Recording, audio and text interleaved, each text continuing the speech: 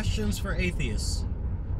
If Earth and nature is called mother, who is nature's father? That is the question.